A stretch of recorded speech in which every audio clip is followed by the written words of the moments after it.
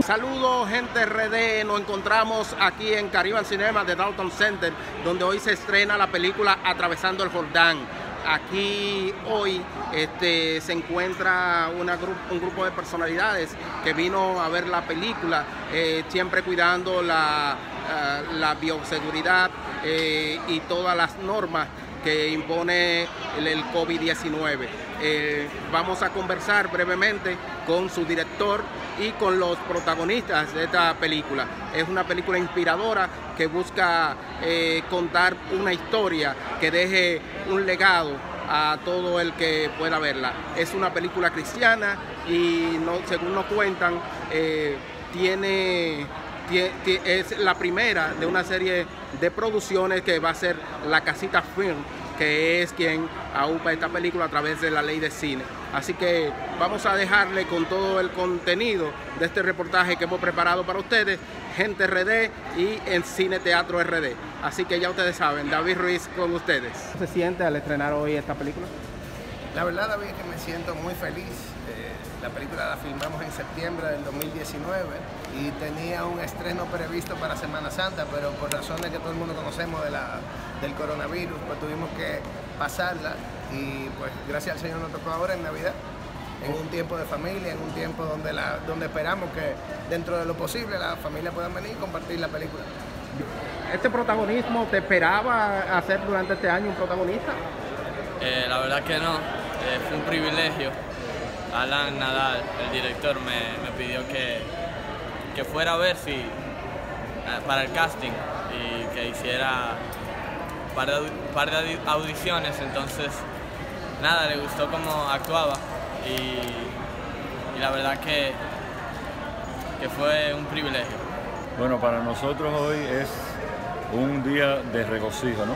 porque estamos alabando a Dios con esta película, que es una película con propósito, donde se muestra cómo el poder de la oración y el acercamiento a Dios restaura una familia disfuncional por el alcohol y las drogas.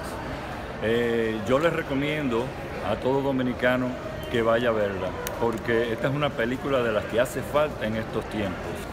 Pues mira, con, con el incentivo fiscal que tiene la ley de cine, eh, para las producciones nacionales, las producciones locales, pues nosotros eh, hemos podido, a pesar de ser un año de cuarentena, nosotros hemos podido trabajar y filmar dos películas, dos proyectos este año. Y el año que viene, pues a raíz de que, de que este proyecto que nosotros le llamamos películas con propósito, Atravesando el Jordán, que son películas cristianas, películas con un mensaje cristocéntrico, pues queremos eh, encontrar inversionistas que se incentiven a apoyarnos en este tipo de proyectos para el año que viene. ¿Proyectos futuros? Eh, tenemos eh, varias películas que no sé si te puedo decir. Tengo, tengo dos películas eh, de producción ahora en enero y en marzo. Y luego tenemos una película, como le digo, película con propósito, o sea, película faith-based, cristiana, para finales de verano. Eh, Ustedes utilizan actores no tan famosos como como la, la, mayoría de las producciones dominicanas Mira, que utilizan comediantes, gente de la televisión. Es interesantísima tu pregunta. En esta película, Atravesando el Jordán, nosotros los actores no, no conseguimos actores eh, normales, sino que nosotros encontramos actores en diferentes iglesias. Eh, la protagonista es Annie Puello, una cantante cristiana, eh, pero el, la, la, el, grosso de los actores lo fuimos seleccionando en ministerios de, de, obras de diferentes iglesias. O sea, ninguno tenía experiencia frente a la cámara. Y eso fue muy interesante para el, el producto final, ya que no estábamos esperando y, y no tenemos no tenemos esas caras gastadas, sino que tenemos nuevos talentos que quisieron eh, eh, ser de bendición a través de este proyecto.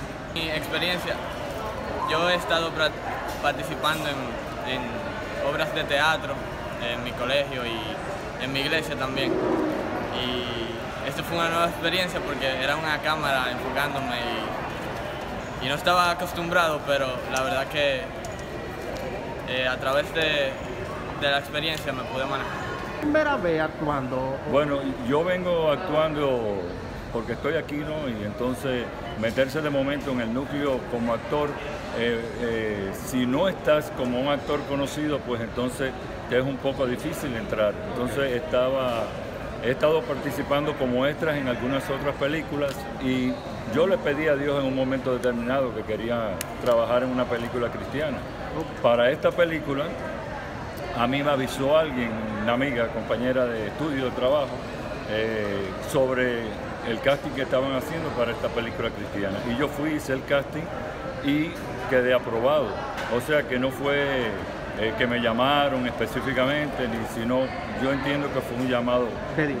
de, de Dios prácticamente. porque Para que la gente sepa quién es, eh, quién eres tú. ¿A dónde vengo? Yo, yo, yo vengo de, de un humilde... yo vengo de Santo Domingo, soy un humilde eh, joven que solamente le gusta eh, actuar y, y participar en, películas como estas. leí el guion verdaderamente que me, me, me, me compungí porque este papel de Roberto tiene mucho que ver con mi vida. Mucho. Yo, yo digo que fue un papel escrito para mí. Realmente no fue, fue incorporarme a ese papel y verdaderamente ha sido de una bendición, de un aprendizaje tremendo porque como actor con cierto grado de protagonismo, esta es mi primera experiencia. espectacular. Mi rol, eh, el, el rol entre los actores fue exitoso, nos llevaba muy bien y cada cual jugó bien el papel que le correspondía.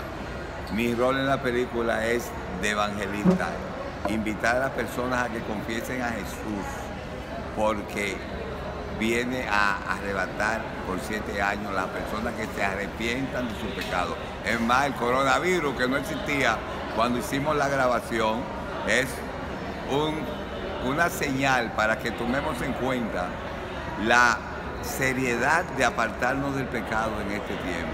Nada, yo lo invito a todos. Atravesando el Jordán es una película con propósito, es una película con un mensaje cristiano para toda la familia, a pesar de que estamos en, en momentos eh, difíciles de cuarentena y de pandemia.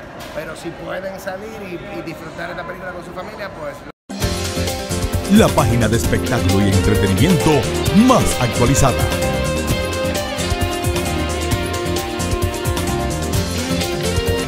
Viva expresión de dominicanidad. GenteRD.com